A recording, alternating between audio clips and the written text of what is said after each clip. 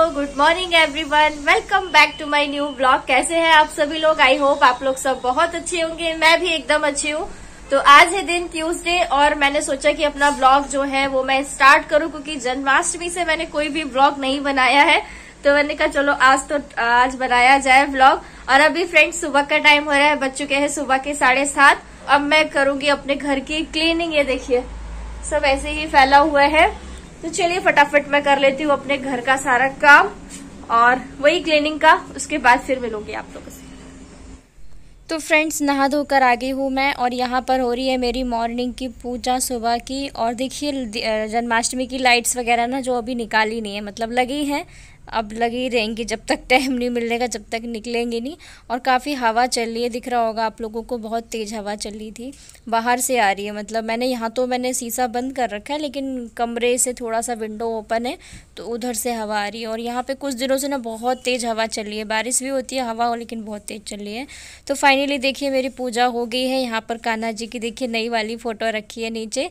और कितनी सुंदर लग रही ना ये फ़ोटो और घंटी देखिए हवा से अपने आप हिल रही है थोड़ी थोड़ी और जो पुराने वाले थे ना मतलब भगवान जी की एक और थी ऐसी झूले में, ये देखिए मैंने ऊपर रख दी है तो ये थोड़ा सा ना वैसी पुरानी होगी ना, थोड़ा काले काले से लग रहे थे तो मैंने यहाँ पे ऊपर भी रखे हैं। और नीचे जो है नए वाले रख दिए हैं। पहले ये वाले नीचे रखे हुए थे। तो फ्रेंड्स पूजा करने के बाद मैं आ गई हूँ किचन में। मैंने केले रख दिए थे बॉईल होने के लिए। तो केले बॉईल हो चुके हैं। केले के कोफ्ते बना रही हूँ आज मैं। और आप लोग सोच रहे होंगे कि मेरी ड्रेस चेंज लग रही है। एक्चुअली ना, मैं पानी भर रही थी अभी पूजा वूजा करने के बाद ना। पानी आ गया तो मैं पानी भरने लगी। तो मेरे ऊपर थोड़ा सा पानी गिर गया था। कपड़े गीले हो गए थे और बारिश का मौसम है। तो ठंडा ठंडा सा लगा था। तो मैंने उसको थोड़ा सा पंखे की हवा में डाल दिया है सूखने के लिए। जब तक मैंने मैक्सी डाल ली है यहाँ ऊपर पे। ऊपर से तो आपको लग रहा होगा कि फिर से कपड़े चेंज दिख रहे हैं। तो यहाँ पे देखिए, केले के छिलके निकाल के मैंने उसको मैश कर लिया है और उसके बाद यहाँ पे डाल रही हूँ मैं चार से पाँच चम्मच इसमें बेसन। और बेसन के बाद मैंने देखिए, यहाँ पे प्लेट दिख रही होगी आपको, उसमें मैंने हरा धनिया और एक हरी मिर्च काट के रखी है। तो वो भी मैंने इसमें डाल लिया है। अब मैं इसमें डालूँगी थोड़ा सा नमक और नमक डालने के बाद हम इसको अच्छे से हाथों से इस तरीके से देखिए मसल लेंगे। और पानी की डालने की बिल्कुल भी ज़रूरत नहीं है, क्योंकि केले वैसे भी थोड़ा सा गीले रहते हैं ना, और बेसन मिल गया है तो बहुत अच्छे इसके कोफ्ते बन के तैयार होंगे। तो मैंने यहाँ पे तेल भी रख दिया है, गर्म होने के लिए दिख रहा होगा आप लोगों को। और यहाँ पे मैं जो है कोफ्ते बना बना के इसमें तेल में फ्राई कर लूँगी अब। और बहुत ही आराम से देखिए गोल गोल एकदम शेप दे देनी है। हाथ को धो लेना है मतलब हाथ गीले रहेंगे ना, गीले हाथ से बहुत अच्छा बनता है, एकदम शेप अच्छी आ जाती है तो पानी में गीला करके फिर बना सकते हैं। तो ये देखिए इस तरीके से बन रहे थे। जब तक ये तेल में ना थोड़ा स्लो फ्लेम पे पकाते हैं इसको, जब तक मैंने यहाँ पे ये सारी चीज़ें तैयार कर ली हैं मसाले के लिए। और मसाले के लिए देखिए मैंने क्या क्या लिया है? प्याज है, अदरक के टुकड़े हैं, हरी मिर्च है, लहसुन है और खड़ा गरम मसाला है। और जब तक ये भी मैंने निकाल लिए हैं तेल में से, क्योंकि अच्छे से ये ब्राउन हो चुके हैं, और जब तक मैंने कहा ये तेल में दूसरी साइड थोड़ा टाइम लगता है ना कोफ्ते में तो इसलिए मैंने यहाँ पे सोचा कि साइड में मसाला भी साथ के साथ जो है तैयार कर लूँ। तो मैंने थोड़ा सा तेल डाला है कढ़ाई में उस पर मैंने ये सारी चीज़ें डाल दूँगी, जो जो अभी हम मैंने दिखाया आप लोगों को। ये देखिए, प्याज, लहसुन, अदरक, हरी मिर्च, इन सबको डाल दिया है, और थोड़ा सा इनको रोस्ट करना है, उसके बाद ये खड़ा गर्म मसाला है। खड़े गर्म मसाले में काली मिर्च है खड़ा धनिया है तेज और इलायची और जो भी होता है खड़े गरम मसाले में, दालचीनी वगैरह, वो है। और उसके बाद यहाँ पे एकदम बड़े बड़े टुकड़ों में देखिए, टमाटर भी इसी में ही काट के डाल दे रही हूँ। थोड़ा जल्दीबाजी रहती है सुबह की और जब जल्दी होता है ना तो ऐसे ही मैंने फिर अलग से काट के नहीं रखा है इसी में ही डाल दिया है। क्योंकि हमें ना इसको अच्छे से ज़्यादा ज़्यादा तो पकाना नहीं है, सिर्फ़ मसाले के लिए थोड़ा सा इसको रोस्ट करना है बस। जैसे ही भुन जाएगा, फिर मैं इसको पीस लूँगी। देखिए, मैंने पीस लिया है इसको और यहाँ पर कढ़ाई में तेल गर्म हुआ है तो मैंने यहाँ पर हींग, जीरा डाल दिया तड़के के लिए। और जो मसाला अभी पेस्ट तैयार किया था, वो भी मैंने इसमें डाल दिया है और थोड़ा सा जार में लगाए तो इसमें पानी डाल के वो भी इसमें डाल दिया है। देखिए, मसाला हमारा अच्छे से पकने देंगे हम मसाले को और तब तक हमारे कोफ्ते भी पूरे एकदम तैयार हो गए हैं। और यहाँ पे ना मैंने इसमें दो चम्मच दही भी यूज़ किया है। दही से ना काफ़ी अच्छा सा टेस्ट आता है इसमें। कोफ्ते वगैरह, कोई भी सब्ज़ी बनाओ, दही अगर डालते हैं ना तो बहुत अच्छा स्वाद आता है दही से, और देखने में भी बड़ा अच्छा लगता है। तो ये कोफ्ते पूरे बन के तैयार हो गए, और देखिए, दस मिनट बाद हमारा जो मसाला है, उसका ऑयल भी सेपरेट हो गया, बहुत अच्छे से मसाला पक चुका है। तो अब हम इसमें डाल देंगे पानी पानी जितना डालना हो, जितनी आपको ग्रेवी रखनी है, उस हिसाब से पानी डालेंगे। लेकिन क्या होता है, कोफ्ते में ना पानी थोड़ा सा ज़्यादा लेके चलना चाहिए, क्योंकि वो पानी बाद में ऑब्ज़र्व कर लेते हैं कोफ्ते। तो इसीलिए मैंने थोड़ा ज़्यादा डाला है, नमक डाला है, और उसको मिला के फिर उसके बाद ढक के मैंने पकाने के लिए इसको रख दिया था। दस मिनट हो गए हैं ग्रेवी अच्छे से पक चुकी है, मैंने इसमें डाल दिए हैं कोफ्ते। और कोफ्तों के, कोफ्ते डालने के बाद भी हमें इसको पाँच मिनट पकाना है ताकि कोफ्ते भी जो हमारी ग्रेवी हो, उसमें अच्छे से मिक्स हो जाएँ। फिर हमने इसमें डाल दिया है हरा धनिया तो फाइनली हमारी सब्ज़ी बन के तैयार हो गई है। अभी देखिए इसमें तरी दिख रही है, लेकिन थोड़ी देर बाद ना बिल्कुल भी नज़र नहीं आएगी, क्योंकि धीरे धीरे ना ये कोफ्ते जो है ना, वो पानी को ऑब्ज़र्व कर लेते हैं तो वो थोड़ा सा गाढ़ी हो जाती है सब्ज़ी। तो ये मैंने इसको दूसरे बर्तन में सर्व कर लिया है। तो ये हमारे केले के कोफ्ते बन के परफेक्ट रेडी हो गए हैं। उसके बाद उसके बाद अभी टाइम हो रहा है सवा बारह और स्माइली हो रही है। स्कूल के लिए रेडी तो मैं अभी स्माइली को कर रही हूँ रेडी और मेरा ड्रेस फिर से चेंज हो गया क्योंकि मेरा सूट सूख गया था तो फिर मैंने कुर्ता डाल लिया। और यहाँ पर स्माइली को देखिए मैंने पहना दिया है यूनिफॉर्म उसका स्कूल का। और बस अब स्माइली जा रही है स्कूल और जब तक जाएगी नहीं, जब तक कुछ ना कुछ कुछ ना कुछ, देखो तैयार होते होते बिना उसका मुँह बंद नहीं होता है, कुछ ना कुछ बोलना होता है।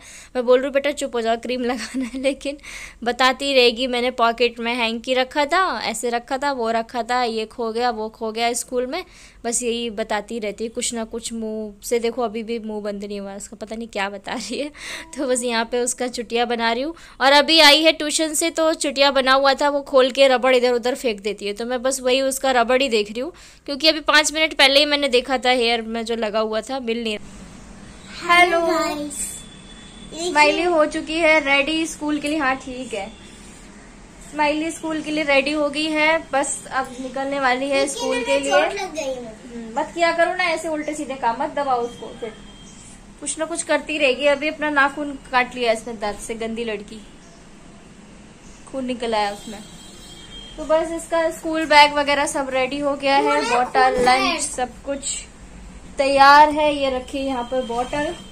बस स्माइली को निकाल रहे हैं। सबसे बड़ा काम होता है ये स्कूल भेजना। जाओ चलो सैंडल पहनो। तो पहनाओ ना हाँ, तो बैठो यहाँ बैठो पहनाते सैंडल बैठो इधर। हाँ। तो मैं पहले से पहना के नहीं रखती हूँ बिल्कुल लास्ट में पहनाती हूँ वरना ये क्या करती है पूरे घर में घूम लेती है और वो बाहर जाती है इसको पहन के तो मिट्टी मिट्टी हो। जाती है।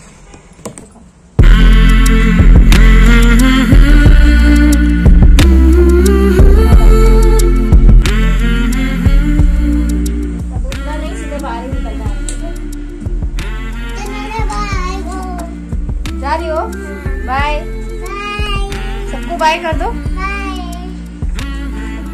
तो चल दी स्माइली स्कूल के लिए। बाय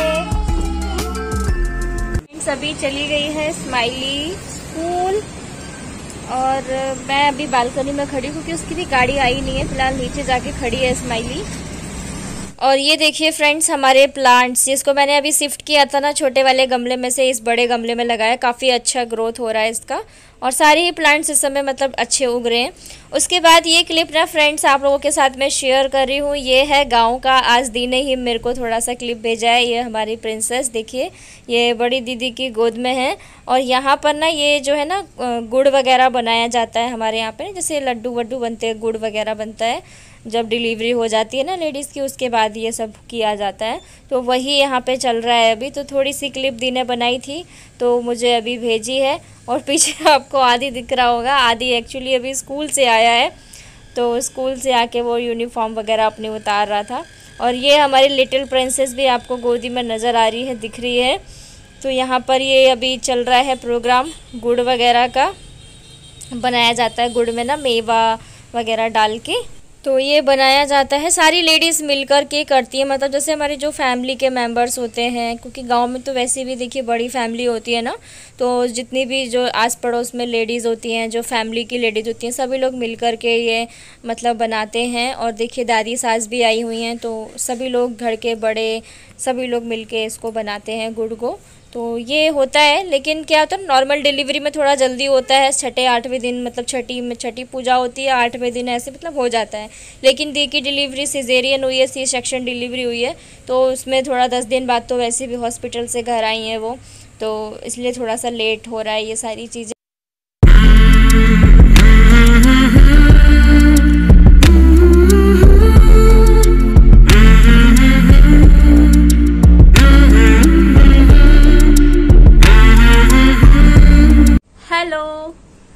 फ्रेंड्स अभी बज चुके हैं साढ़े तीन और मैं अपने ब्लॉग को यहीं पर एंड कर रही हूँ। मैंने अभी साढ़े तीन बज गए हैं और स्माइली को आने में सिर्फ़ रह गया है आधा घंटा। तो मैंने सोचा चलो अपने ब्लॉग को यहीं पर एंड करूँ और फटाफट से एडिटिंग करके ब्लॉग अपलोड करना है मुझे आज। तो चलिए फ़िलहाल आप लोगों ने ब्लॉग देखा आप लोगों को पसंद आया हो पसंद आया हो तो लाइक ज़रूर कर लेना। चैनल पर न्यू है, अगर अभी तक आपने मेरा चैनल सब्सक्राइब नहीं किया है तो प्लीज़ जल्दी से चैनल को सब्सक्राइब कर लीजिए। साथ में जो बेल आइकन है, उसको तो बिल्कुल मत भूलना, प्रेस करना। चलिए, फिर मिलते हैं नेक्स्ट वीडियो में, न्यू ब्लॉग में, तब तक के लिए bye, take care, love you all, bye.